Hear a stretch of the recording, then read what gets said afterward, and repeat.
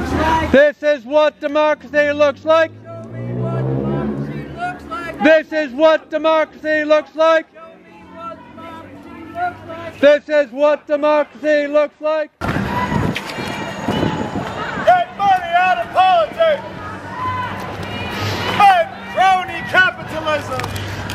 Democracy is under attack! Stand up, fight back. Democracy is under attack! Stand up, fight back. Democracy is under attack! Stand up, fight back. Walkers are arriving! We have walkers from Dixville in the house! Where's Dixville at?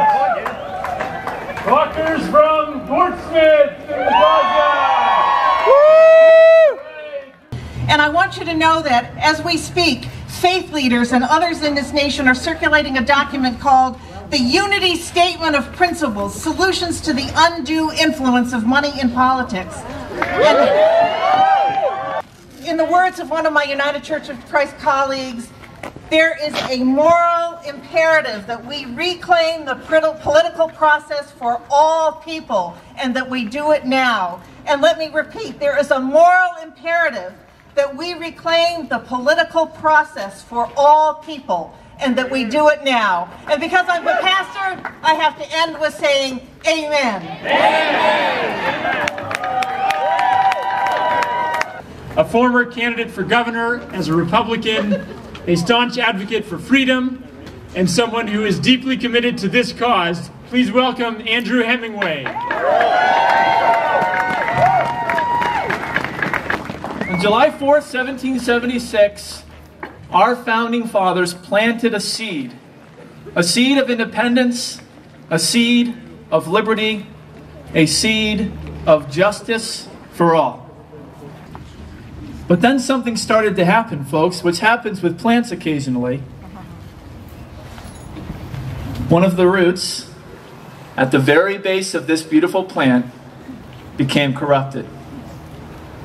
And instead of feeding it with the blood of patriots, and instead of feeding it in the greenhouse of liberty and justice for all, we started feeding it with money. It is incumbent upon all of us, not just for us, but for the generations to come, to stand, to rise, to be counted, to say, no matter the cost, we will root out this corruption. A businessman from Burlington in far western New Hampshire, aka Vermont. We're glad to welcome the co-founder of Ben and Jerry's, a man who is stamping big money out of politics as his full-time job since giving up the ice cream business. Please welcome Ben Cohen.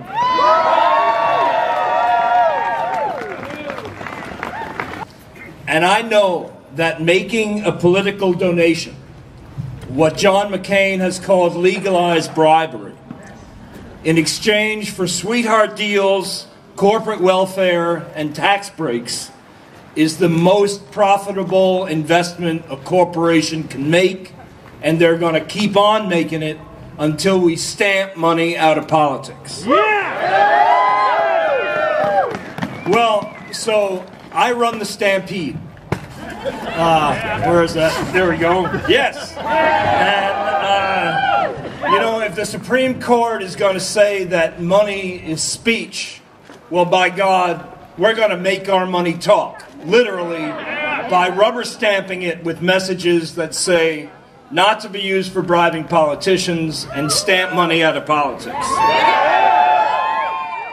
And you notice there's not a lot of Republicans here, and that's a fatal mistake, and it's got to change here. For, three decades now, Washington politicians in both parties, in every election, promise us fiscal responsibility. That's a core precept of Republicanism.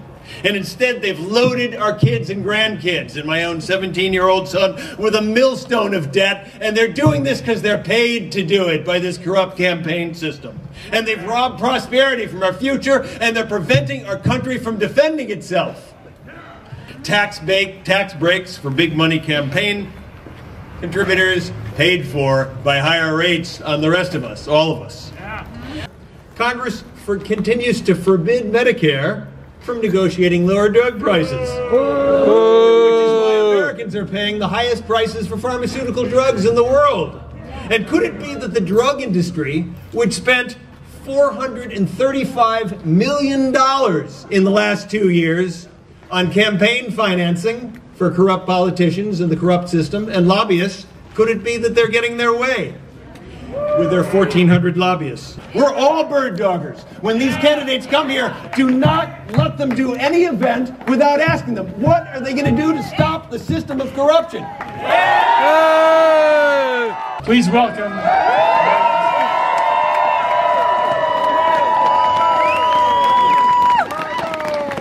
So in the Dixville Notch, there was a guy named St- Crazy Steve. This was his hat. And at the end of his time on our walk, he handed me the hat and he said, This is for you.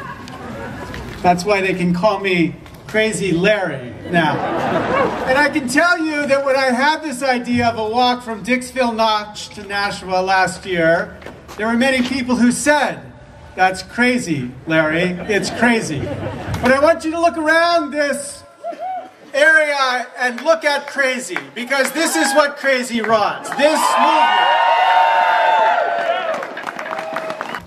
What will you do to end the system of corruption in Washington? I promise. Crazy Larry promises. I guarantee that if New Hampshire asks that question and a candidate for the presidency answers it in a way that you reward it, there's a chance America will follow you.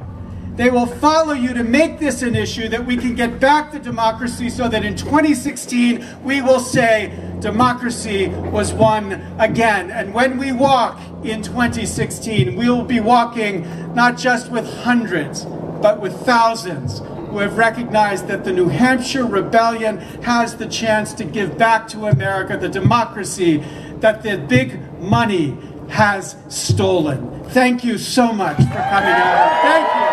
God bless.